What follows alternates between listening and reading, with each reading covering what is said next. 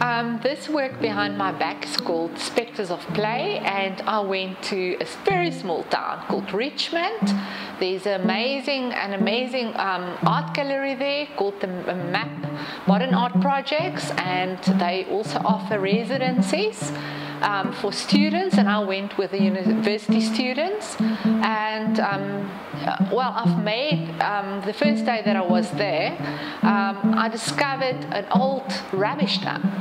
Um, and then I started digging and scavenging objects. The philosopher Jacques Derrida, um, he wrote a book called Spectres of Marx, where he argues that um, in capitalist systems there's always a bit of a shadow, um, and um, he recalls Marx in it.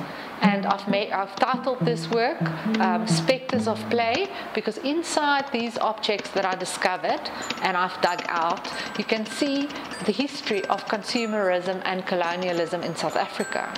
And um, one of the work, uh, works include toilet paper dollars. Um, they are printed dollars sold to very poor people in Richmond. It's a very impoverished community, and um, the the toilet paper, it's a bit of a, a shocking thing to sell um, printed dollars um, because it's wishful thinking. Nobody will ever be able to afford um, a dollar in, um, in, in, in, impoverished communities. I'm not saying they will never be able to afford um, that, but it's, it's a bit, uh, a bit senseless to flaunt wealth um, in such a way, and it's uh, and, and gaining from it from people that buy, making money by flaunting wealth. Uh, that's a bit ironic.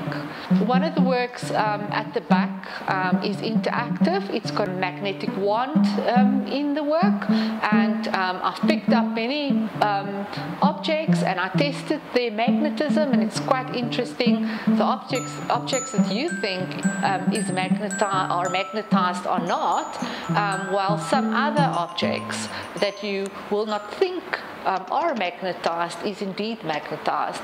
And specifically, if I can show um, the one um, object comes from um, an electrical pole, um, which has been um, magnetized because of electricity. Um, and if you go to Richmond um, at the Map Art projects, if you ever um, visited it and you open a wardrobe uh, in one of the guest rooms, you're going to find this installation. Um, I've also used old t-shirts of mine while I was um, working there. I've taken old t-shirts and put that in the wardrobe and then the installation just happens. And uh, I had to leave some of my clothes there um, for the installation.